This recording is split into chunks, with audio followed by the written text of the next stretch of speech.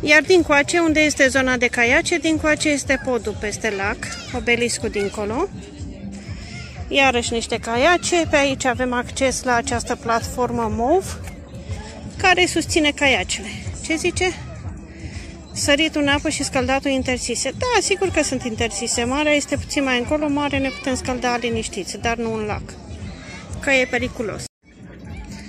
Ieșim frumos din zona de caiace, mergem să vedem obeliscul, să trecem podul peste lac. Mai în față, uite, mai este și acolo un pod. Asta e podul de la obelisc, mai încolo încă unul. Și iată obelisc în toată splendoarea sa. La Costinești. Și dincolo, marea, uite, Marea Liberă.